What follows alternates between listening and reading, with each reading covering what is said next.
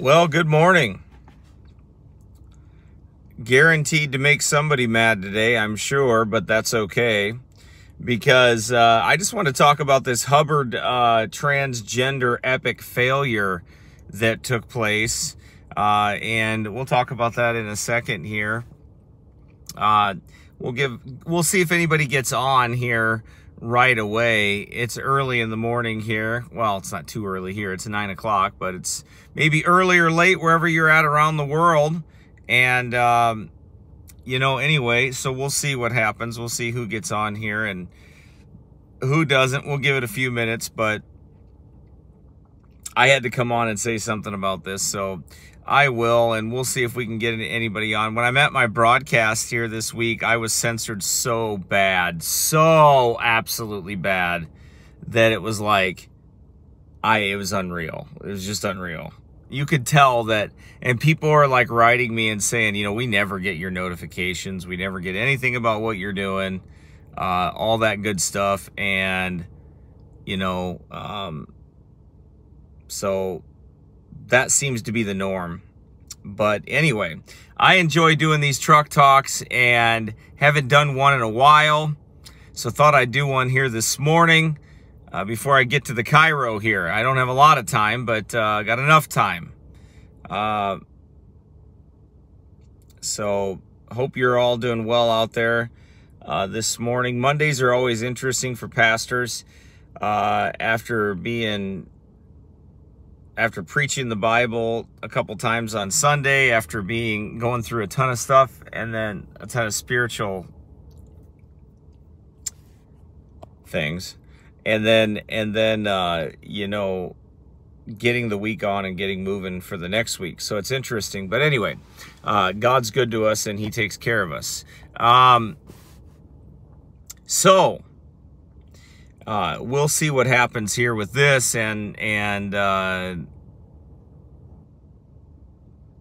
how that works. But anyway, how many people come on? But I, I doubt there'll be a, a ton because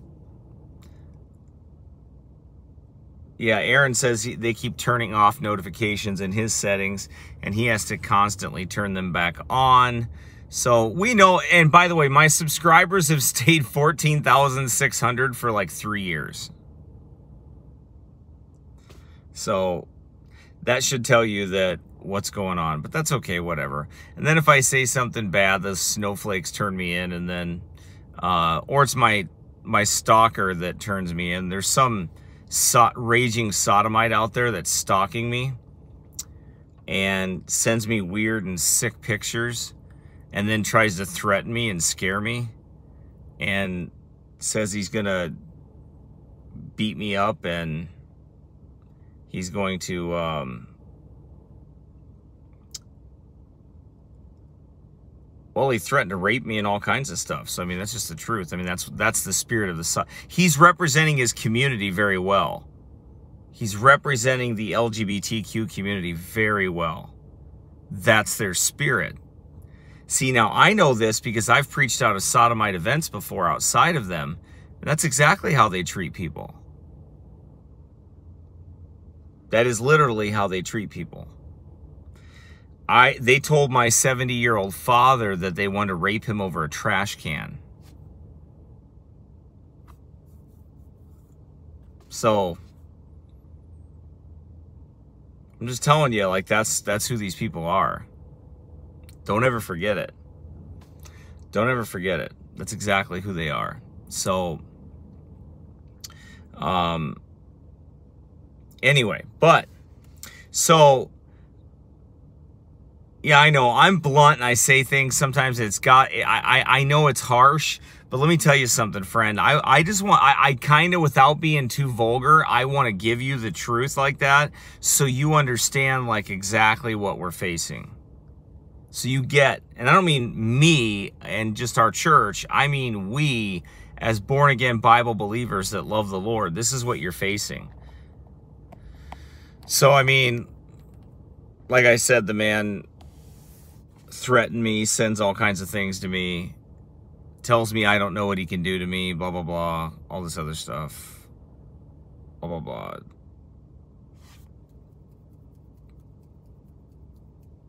I and I'm supposed to be afraid, which I'm not. So he sends me a picture of my address, my old address, by the way. Sends me a picture of my old address. And I'm just saying this openly because I just want him to know that I'm not even afraid. Like, I'm not even. Like, look at me. This is me being afraid of you. Okay, this is like I, I'm not. I'm not even like close to being afraid of that. Anyway, so, but uh,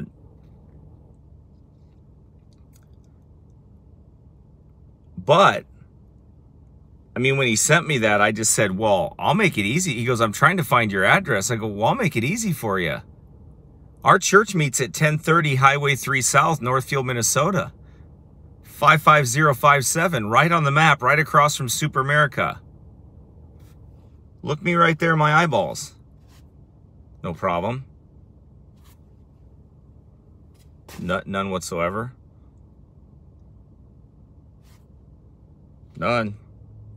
There, I made your job easy. Right? I made it easy. When you take that fear, when you take that that uh, tool of fear, right? When you take that that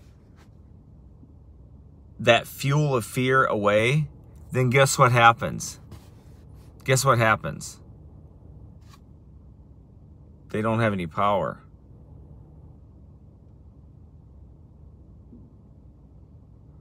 I'll make it easy for you. There, now it's easy.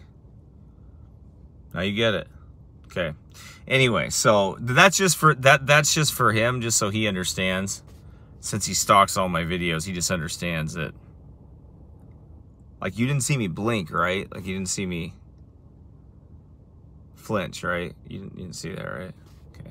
So you know. What I think is funny is that people like that think I was always like some preacher or they mistake us for some guy in a monastery that sits there and hums all day. Like that's the first dude that ever threatened me.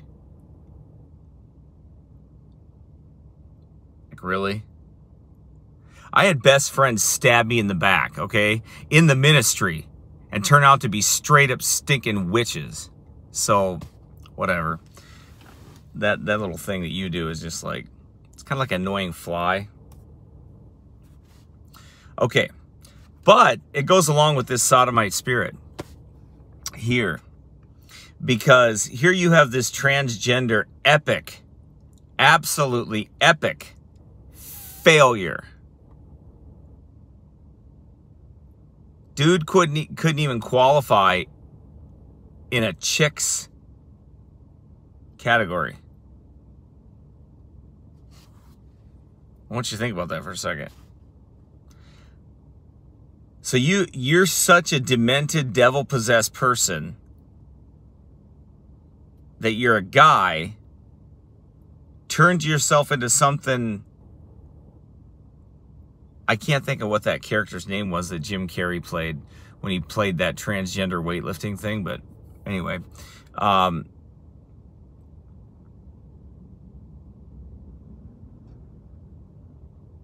so, but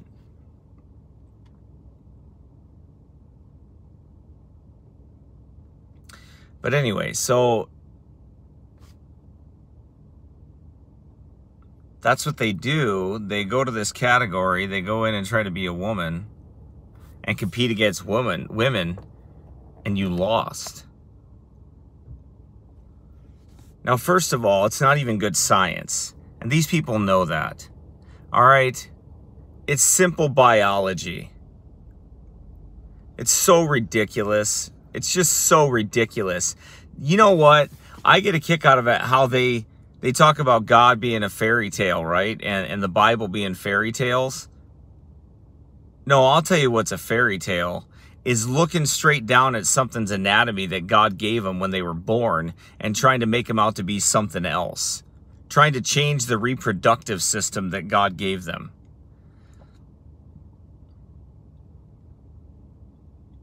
I mean, don't they ought to realize that this is a psychosis problem. I mean, it's devils that we know it's deeper than that. It's devils. But it's like it's like uh it's like the the transgenders doing the fake breast thing like they get a fake breast and they strap on a fake breast and they they pretend to nurse a baby with a fake breast.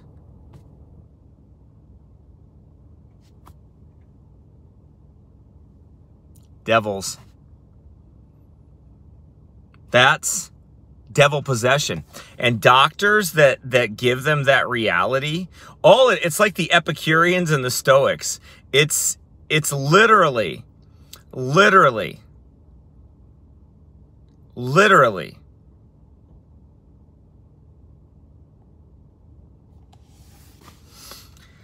it's literally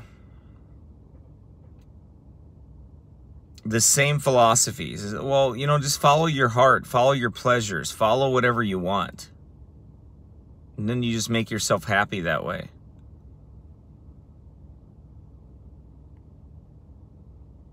Just follow whatever you want.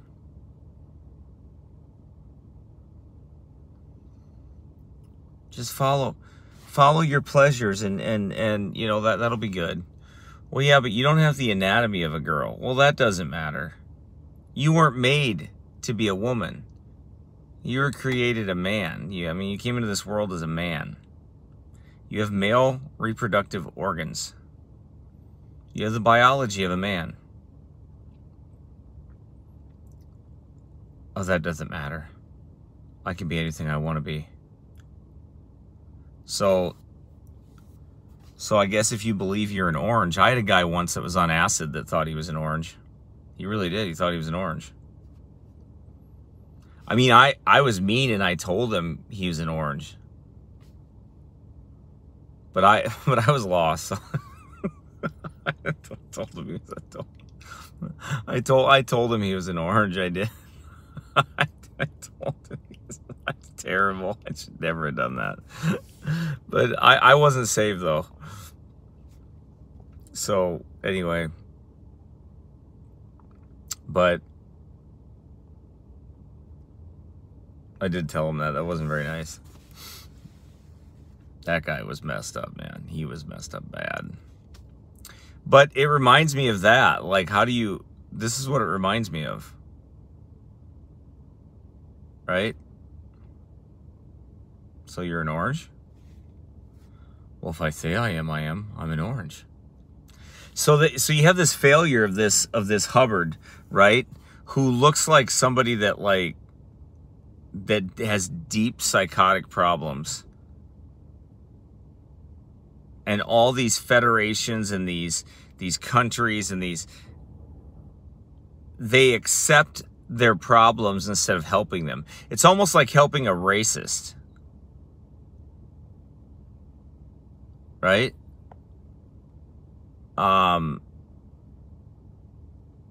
a rapist. It's like helping a rapist, right? So you just tell them, hey, you're, you know, well, I'm a rapist. Well, okay, well, we'll just help you with that. We'll just, he says he's a rapist. That's what he says he is, right? So we'll just do that. We'll just help, we'll just help him be a rapist. That's what these governing bodies of the Olympics are doing. That, that's what all these people are doing. That's what scientists are doing. People that claim to believe in science, that's what they're doing. When they don't. But that goes to show you that they're just a bunch of lying hypocrites is all they are. It's just like this, this sodomite that's stalking me. Same thing. He tells me how much of a bigot I am when he's the one that wants to kill me. He's the one that wants to kill me.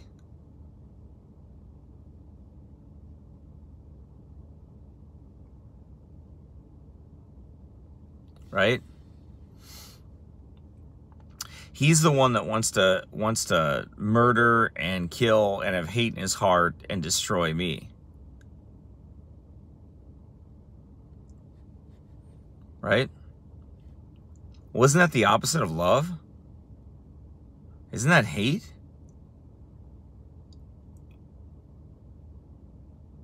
It's exactly what it is. It's hate.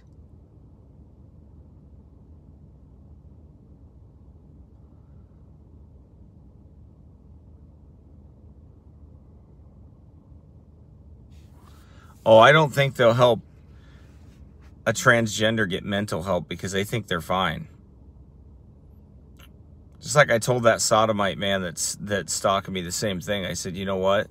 You hate your own skin. Or you I didn't say your skin. I said you hate your own self.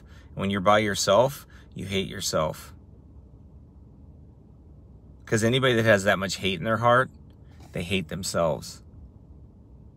They're they're not they have no joy. They have no happiness at all. Anybody that wants to kill somebody like that, they're full of hate. Full of it. Full of devils. So anyway, but um, pray for that man. We had a prayer meeting yesterday. We prayed for that man's soul. It's exactly what we did. We prayed for his soul to be saved because he's in trouble with God. And they need the gospel of Jesus Christ. That's the answer. For that Hubbard, that transgender, he'd be happy in his own skin if he was saved by the grace of God. If he was if he was born again by the Spirit of God, if he repented and put his faith and trust in Jesus Christ, he would be a happy man.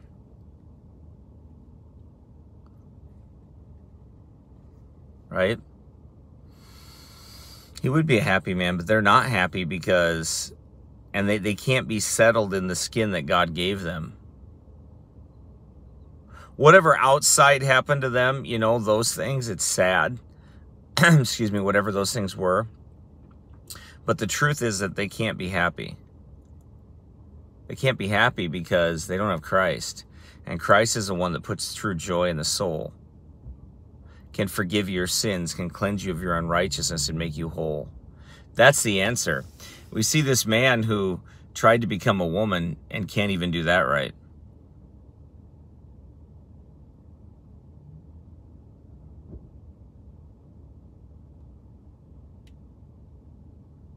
Can't even do that right. Can't even win at that. Boy, I would take a look at my life if that's the way that I was. I would sincerely take a look at that. And I would sincerely turn to Christ before it was too late. That's the answer.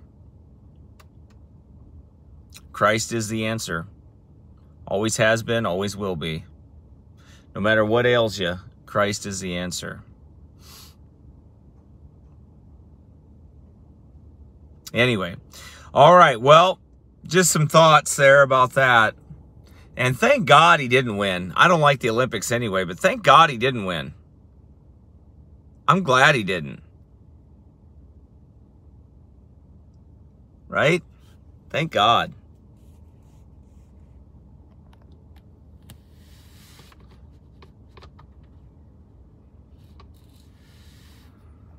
I'm glad he didn't win.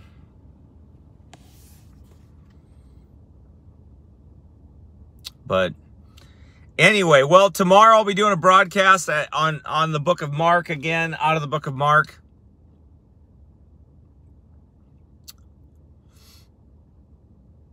And uh, can't remember exactly. I've got a few topics I'm looking at.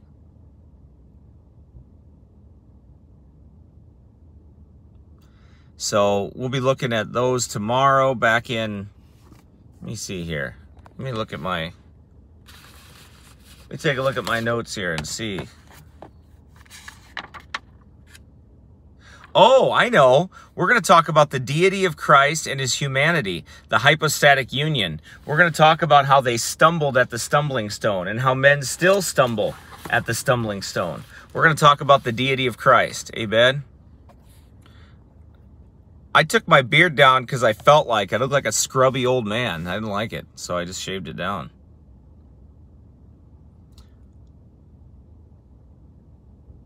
You wait, Carl, till yours turns all white.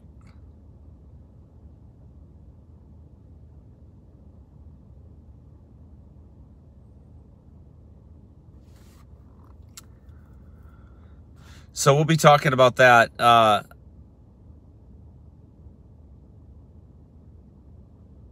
we'll be talking about that tomorrow.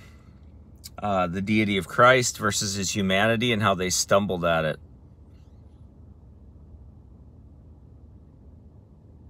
10 years is a lot, man. And when you're in the ministry, 10 years is a whole lot. Trust me. Um, anyway, well, God bless y'all. Hey, if you want to uh, pray for us, please do that. We could use the prayers, definitely.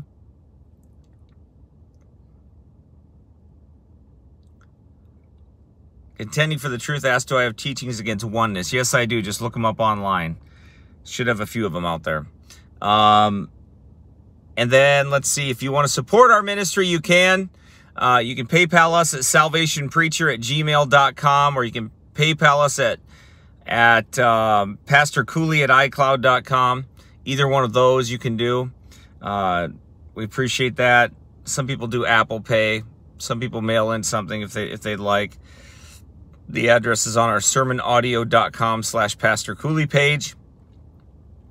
You can find information there. Look for more truck talks.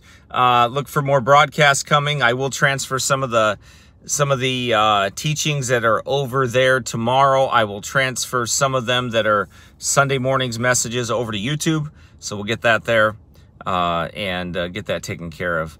Uh, also, so those are on there. Check sermonaudio.com slash Pastor Cooley for more uh, new sermons, the newest sermons. If you want to listen to our sermons live, you are able to listen to our sermons live. I do the Wednesday sermon, the Sunday morning sermon, and the Sunday afternoon Baptist history lesson. Those are all live on sermonaudio.com slash Pastor Cooley. So if you want to listen to those, you can watch those live um, on Sermon Audio. Okay? So they are broadcasted. Uh, I don't know what happened to the second sermon yesterday. I'm not sure. Went off after three minutes. I am not sure. I don't know what happened.